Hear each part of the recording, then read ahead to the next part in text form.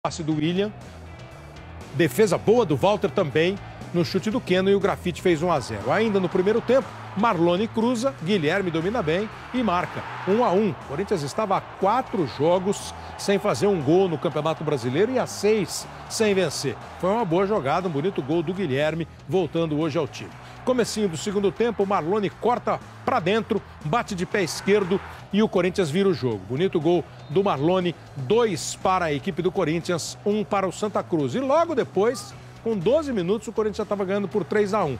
A jogada do Giovanni Augusto e o gol de cabeça do Guilherme, 3 para o Corinthians, 1 para o Santa Cruz. Começou na esquerda com o Rodriguinho, virou o jogo para o Giovanni. Olha o Guilherme apontando aqui, ó, para botar lá na frente. Ele em posição legal, se adiantou, cabeceou e fez o gol.